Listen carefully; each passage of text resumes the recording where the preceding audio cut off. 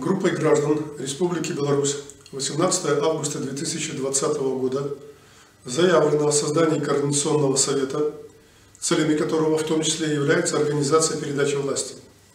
Планируется создать политический орган, который должен взять на себя процесс передачи власти от действующего главы государства. Создание подобных органов законодательством не предусмотрено, а их деятельность является неконституционной. Понимая незаконность своих действий, ряд граждан заявил о выходе из состава Совета и несогласии с целями его деятельности. Создание и деятельность подобного Совета направлены на захват государственной власти, а также на причинение вреда национальной безопасности Республики Беларусь. В связи с изложенным, по данному факту, возбуждено уголовное дело по статье 361 Уголовного кодекса Республики Беларусь.